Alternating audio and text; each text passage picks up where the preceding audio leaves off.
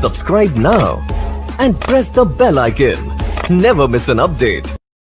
Hi friends നമ്മളിന്ന് ഒരു സൈബിള എന്ന് പറഞ്ഞ ഒരു സ്വീറ്റ് ഉണ്ടാക്കാൻ പോകുന്നത് അതിന് നമ്മൾ എടുത്തിരിക്കുന്നത് അറുന്നൂറ് ഗ്രാം മൈദ അറുന്നൂറ് ഗ്രാം ഉരുളക്കിഴങ്ങ് പുഴുകി പൊടിച്ചത് ഒരു ഒന്നര ലേവിതം ഇരുന്നൂറ് ഗ്രാം ബട്ടർ മൂന്ന് ടീസ്പൂൺ പഞ്ചസാര അര ടീസ്പൂൺ ഉപ്പ് നാല് കോഴിമുട്ട ഒരു നാരങ്ങയുടെ തൊണ്ട് നമ്മൾ ചിരണ്ടിയതും ചേർത്തിട്ടുണ്ട് കേട്ടോ.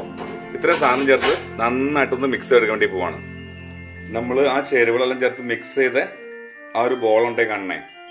ഈ പരുവത്തിലാക്കി നമ്മൾ എടുത്തിട്ടുണ്ട്. ഇതിപ്പം അതിപ്പോൾ മൈദ മൈദപ്പൊടി അതിന്റെ മുകളിൽ കൂടെ തേച്ച് കൊടുത്തേക്കാണ്. കാരണം ഒട്ടി പിടിക്കാണ്ടിരിക്കാനായിട്ട്.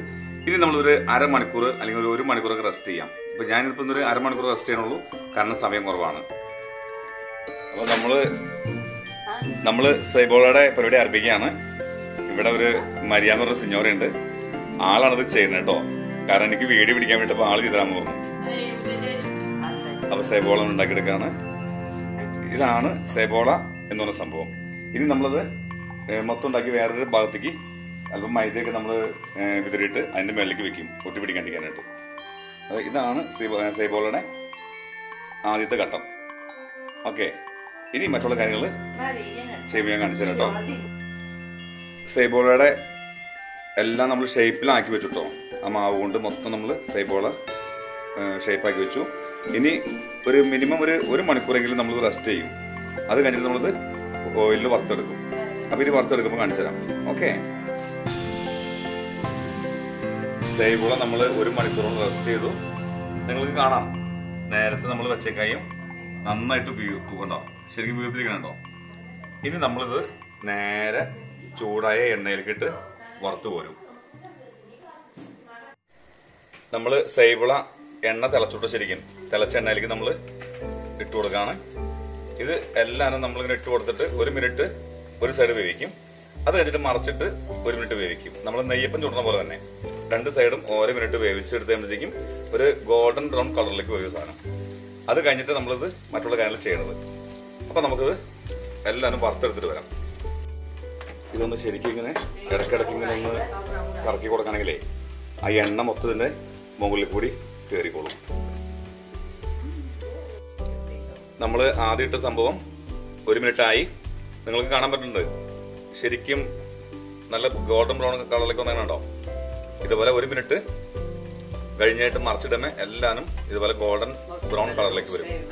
ഇനി നമ്മൾ ഈ ഇങ്ങനെ മറിച്ചിട്ട് ഒരു- മിനിറ്റ് കൂടി നമ്മളത് വേവിക്കും. അത് കഴിഞ്ഞിട്ട് ഇതിനകത്ത് മറ്റുള്ള സാധനങ്ങൾ ചേർത്ത് കൊടുക്കും. നമ്മൾ രണ്ടാമത് മൂന്നാമത് സ്റ്റെപ്പായിട്ട് ഇത് പഞ്ചസാരയിൽ നമ്മുടെ കറുവാപ്പട്ടയുടെ പൊടിയും കൂടി ചേർത്ത് പഞ്ചസാര മിക്സ് ചെയ്ത് വെച്ചിട്ട് അതിനകത്താണത് മിക്സ് എടുക്കണേ.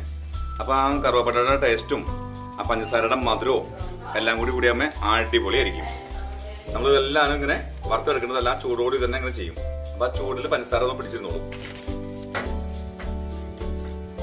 നമ്മൾ ആദ്യം ഉണ്ടാക്കിയ സൈബിള മൊത്തം നമ്മൾ പഞ്ചസാരയിലാണ് മിക്സ് ചെയ്തത്.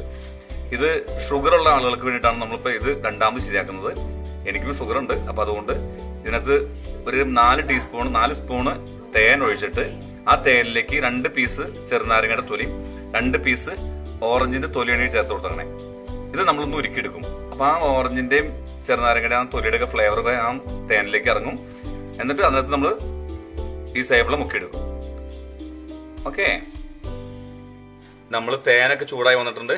അപ്പൊ അതിനകത്തേക്ക് നമ്മൾ സൈബോള ചേർത്ത് ഒന്ന് തിരിച്ചു മറിച്ചിട്ട് എടുക്കാൻ ഇതേപോലെ നമ്മൾ ശരിക്കും തിരിച്ചു മറിച്ചിട്ട് എടുത്തിട്ട് എല്ലായിടത്തും തേനായി കഴിയുമ്പോൾ അത് നമ്മൾ വേറെ പദത്തിലേക്ക് മാറ്റി വയ്ക്കും.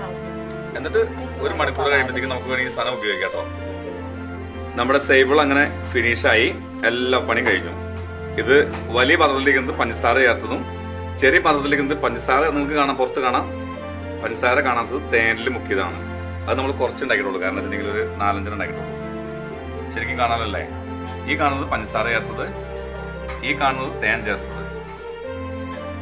ഇത് മൊത്തം നമ്മൾ പഞ്ചസാര ചേർത്തുണ്ടാക്കിയതാണ് ഏകദേശം ഒരു അറുപത് അറുപത്തഞ്ചോളം സേവള നമ്മൾ ഉണ്ടാക്കി. അറുന്നൂറ് ഗ്രാം മൈദയാണ്.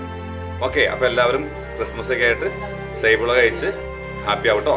അവിടെ എല്ലാവരും നിങ്ങൾക്ക് ഈസി ആയിട്ട് ഉണ്ടാക്കുന്ന കേസുള്ളൂ അപ്പൊ എല്ലാവരും ഒന്ന് ഉണ്ടാക്കി നോക്കുക. നിങ്ങൾക്ക് ഇത് ഇഷ്ടപ്പെട്ട് കഴിഞ്ഞാൽ എന്റെ ചാനൽ നിങ്ങൾക്ക് ഉപകാരപ്രദമായെങ്കിൽ subscribe share share comment okay thank you happy Christmas